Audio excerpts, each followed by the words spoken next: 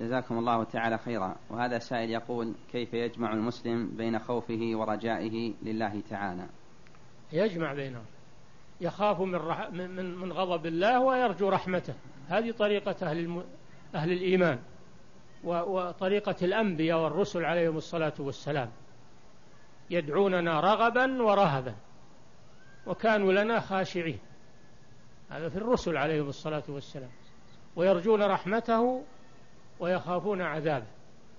فالمسلم يجمع بين الخوف والرجاء لا يأخذ جانب الخوف فقط هذه طريقة الخوارج. ولا يأخذ جانب الرجاء فقط هذه طريقة المرجئة. وإنما يجمع بين الخوف والرجاء. نعم. فالرجاء يحمله على آه، الخوف يحمله على التوبة والاستغفار والخوف من المعاصي.